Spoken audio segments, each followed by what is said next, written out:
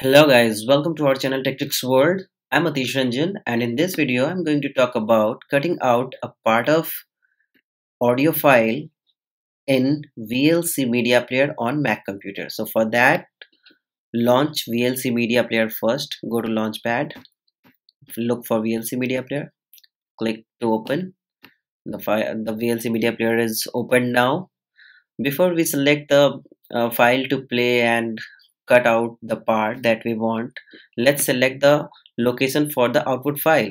Go to VLC click on preferences and here input and codecs. Here in this section browse and select the location you want. I'm selecting desktop for now. Okay and click on save. Now go to file menu and open file and click to play. Okay open. So file is playing now. So you can pause it for now. And now set the point from where you want to record. Okay?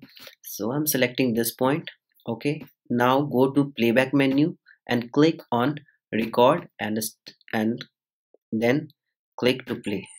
Now the now this will record the song that is being played now so wait for that and once you want to stop just go to playback again and click on record to stop it. Okay so recording is stopped now. So now you can go to desktop and see if that uh, recorded file is saved or not. So here you can see the file is recorded here.